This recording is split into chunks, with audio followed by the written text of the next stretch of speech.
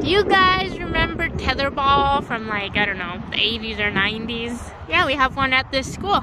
So show me how it works, Jaden. Yeah, gotta spin it around all the way around the pole. But I'm gonna stop it. Fun.